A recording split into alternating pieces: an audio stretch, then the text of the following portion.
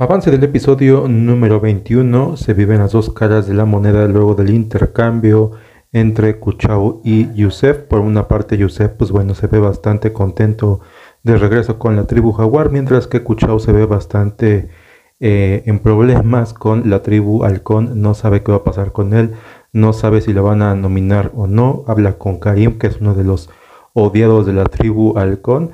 Pero vamos a ver cómo surge todo esto, además de que tendremos un duelo por un collar de inmunidad bastante, bastante valioso que dará o otorgará el poder de decidir quién será el tercero en el juego de la eliminación. Así que hay que ver cómo surge todo esto después del cambio. Ya vimos a Gabo, pues bueno, platicando con Julián acerca del robo del tótem, que seguramente se lo va a hacer a Yusef. Ya se había comentado eso anteriormente en los spoilers pero hay que ver cómo se adapta Kuchao a la tribu halcón que le está pasando bastante mal, dice que tiene miedo y no sabe qué irá a pasar con él. Esperemos que le vaya bastante bien, es un participante muy bueno, pero hay que ver cómo se adapta al equipo halcón.